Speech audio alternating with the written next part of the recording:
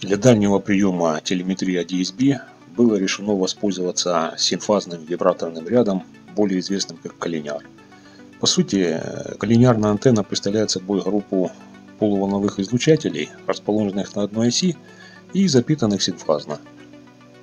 Поскольку поперечный размер общего излучателя становится больше одиночного полуволнового, то и ширина dn в главном луче вертикальной плоскости уменьшается и прижимается к горизонту, а усиление соответственно возрастает. К примеру, уже при трех звеньях усиление, приведенное к одиночному полуволновому, составит 3,2 дБ, а для 5 более 5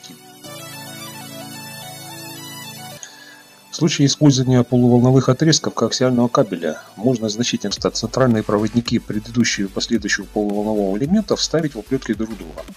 Буквально за час на базе 75-омного Финмарка F660 было изготовлено 10 полуволновых элементов, длина которых для частоты 1090 МГц с учетом укорочения составляет 114 мм.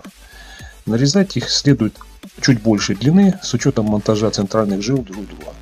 Тот же Финмарк кабель служит и фидером. Результат, как видите, довольно неплох. Радиус покрытия составил более 600 км для высоты полета, более 8900 метров, 8900 метров. И точки подвеса приемной антенны порядка 117 метров над уровнем моря. На этих частотах вообще интерес представляет как раз именно максимальная дальность при малых высотах передающей антенны транспордера и нашей антенны. Оценить дальность прямой видимости в километрах можно по известной эмпирической формуле как коэффициент 4,12 умноженная на сумму корней квадратных из высот антенн в метрах.